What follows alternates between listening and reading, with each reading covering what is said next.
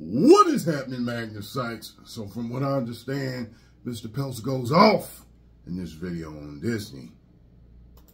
You ready? Let's check this out.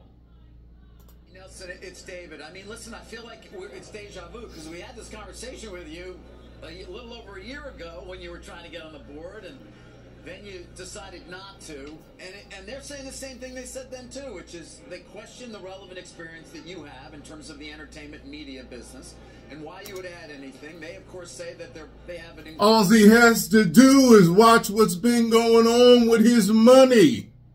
That's it. That's it. Millions unsubscribing, losing billions of dollars. That's it. That's the only expertise you need to see and understand. Oh my God. And if he's smart, he's watching other YouTubers and news outlets and stuff. Man. Incredibly well-stocked board of, of people who are uh, fully uh, capable of holding the management team accountable. And again, you know, what's the plan? Like, other than saying they got to do better, what's the plan? David, you asked it just like I wanted you to. I mean, as written. First of all, this board, from Bob to every in independent director, has underperformed the S&P on every measure. Mm. One year, three years, five years, ten years. How much more do we have to go? How long do we have to continue to suffer with mm -hmm. this mm-hmm. great board? By the way, they said I have no media experience. I don't claim to have any.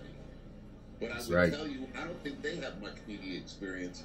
They broke a record this year. There it is. See? It ain't like you have to have any media experience. You just have to watch what's going on and what they've been doing to destroy the company. He just said they broke a record.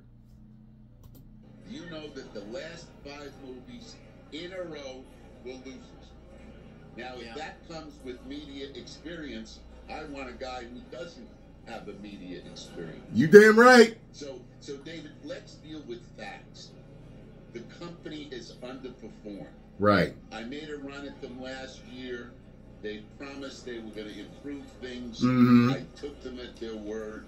Things got worse. The stock went down. Results got worse. Mm-hmm. Okay, so no more. I can't continue to give them more opportunities. Understood. to be fair, don't you need to be fair to compare it to the overall entertainment group? I mean, this is a unique period in time in which, as you well know, there are headwinds and, and changes that are uh, generational. See, he, what he's saying here is that, yeah, basically they're all doing it. they're all doing the same stuff, putting the same stuff in the movies, destroying all entertainment. Don't you gotta be fair here? No.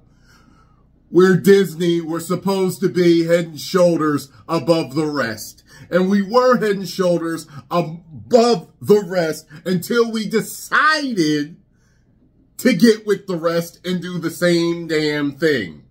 Okay? My God. Yeah, a lot of companies are losing money for doing the same thing that Disney's doing. Deal with the move to direct to consumer and make it profitable. So, you know, comparing to the S&P may be a bit unfair, don't you think? No. Oh, oh really? I mean, that's what shareholders who buy stock compare it to, David. But that's a good point. I mean, look at Netflix. Netflix last last reporting period did 30 billion in sales, 20% margin. Okay? Then you have Warner's, they did 30 billion in sales in media with a 20% margin. Okay. Disney, the big daddy, did 50 billion in sales, a 6% margin. Now, that's the competition. Mm. Those are the guys who are all suffering through a change from features to to uh, streaming. Some have been able to cope with it beautifully. Plus, this company Bob said it in 2015 and 16 that streaming was a, was a real issue. It was coming. It was here to. Mm-hmm. It was going to continue to grow. He said that back then. Here to And stay. Then what happened? They did nothing. And look what happened to ESPN.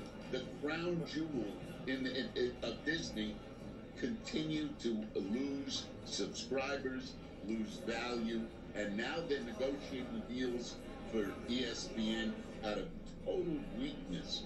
They could have made deals on, on, on ESPN in 15, 16, 17, 18 when they mm-hmm. saw the streaming thing coming. They said it directly and Okay, did so they nothing did, they about did it. miss He that called one, him but weak. We do get a, a kind of a, a flavor of what Disney feels about the person you'd like to have on the board beside you, Mr. Rasulo. It does sound like he was a stalking horse for the largest shareholder, Mr. Perlmutter. I don't find that wrong, but it does make they do make it sound like that that's something wrong there, and that uh, that Bob Iger broke uh, Mr. Perlmutter's heart when uh, Mr. Rasulo was basically fired, uh, passed over, I should say. Does Mr. Rasulo, uh, is he better than, say, does he know more than, say, James about the uh, entertainment business? At Disney? Yeah. For sure. I know James. I don't know how many times James has been to the park. I, I, I don't know what experience James has with Disney. And oh, by the way, James, who I like very much, was given a board seat. He didn't have to have a plan for the company. He did not. Do you- do you he have a did white paper that I can see? Do you it, have a hold white it, paper that I can see? Hold it, hold it. he didn't have to set a goal for the company. He got invited on the board. Okay? Yeah, he did. Wait, wait, and, and I've got to go through these bells and whistles. Hey guys, I'm the largest shareholder in this company. Well, the largest independent share. Listen I to me. I wanna come I'm back to that for a largest second, independent Nelson. shareholder in this company. You, but, but Here we go, baby. what Perlmutter is, I still don't Oh, fully really? understand. Really? Let- let- let me You- ask wait, let me ask the question. I want because I, I am curious about this from a fun Go, go. perspective. Yeah. Right? You, you know, 25 plus million of the shares that you are voting, so to speak, are Ike's. And then Trian owns, my understanding is 7 plus million. Uh, what's your relationship with Perlmutter? Is he paying you? Are you getting fees somehow? Like, you're doing an awful lot here that really wouldn't seem to actually add the economic value for Trian holders given your relatively small ownership of Disney when you take out Perlmutter stock. David, I am thrilled you asked that question. Okay. Okay? Thrilled. Okay? Because every fund around has investors. Whether it's a pension fund, doesn't make a difference. Whether whether it's a sovereign fund, and whether it's a bunch of individuals. What the hell is the difference? It's money. These guys want to make money. That's why they give money to funds. Mm-hmm. We, we just saved one step. I Perlmutter gave us shares. He said, hey guys, you figure it out. I don't want to come back to the company. I don't want to be an officer. I don't want my job back. Okay? I just want to make money on my stock because, oh, by the way, when I'm gone, it's all Right. going to hurt. Right, but that's not Trian fund money that went into buying his stock. You didn't buy it from him. You just I like this guy. lumped it in with your ownership stake. David, what's the difference if a guy gives me a check or he gives me shares? I have the full right to vote it, to do whatever I want with it. What's the difference than, than if CalPERS gives me a hundred million bucks or they give me shares in a company? There's no difference. Hmm. It's all under my control. Man, oh man. I want to see this whole thing with him. I tell you, boy, you can see he was he was getting there. He was oh, oh oh oh oh oh, oh. he was getting irritated. He had something to say. Man, Peltz, I am rooting for you all day long, sir. Get up in there, please, and make some changes.